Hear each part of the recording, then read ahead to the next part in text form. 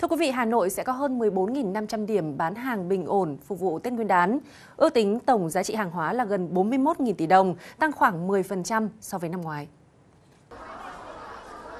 Theo Sở Công Thương thành phố, hiện nguồn cung lương thực thực phẩm dồi dào, giá cả không có biến động lớn. Các doanh nghiệp cũng đẩy mạnh bán hàng online, triển khai thanh toán điện tử.